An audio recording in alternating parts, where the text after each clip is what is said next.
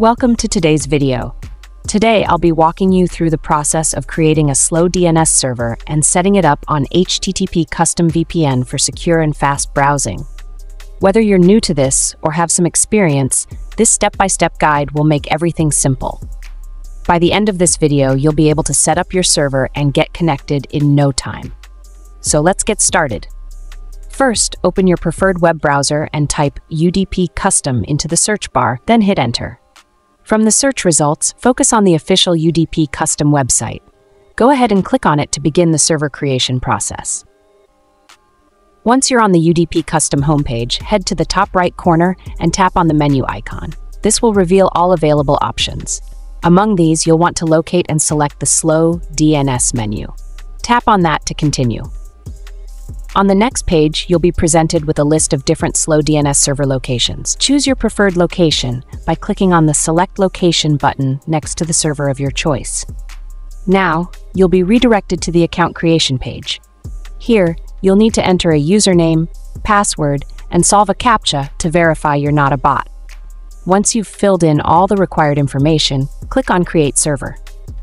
Your slow DNS server is now created. You can copy the server details or the specific information needed to configure your VPN. Now that you have your slow DNS server ready, it's time to configure it in HTTP Custom VPN. If you're not familiar with this, don't worry. I'll guide you through it.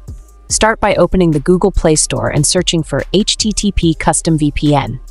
When it shows up in the search results, tap on the app and install it. Once installed, click the Open button to launch the app. When the app opens, you'll be greeted by the home screen. To configure your server, first check the Slow DNS Stop box to activate this feature.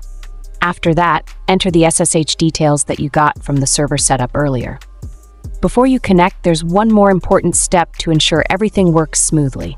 In the HTTP Custom app, tap on the plugin icon. This will open up a menu. From here, choose the Slow DNS settings.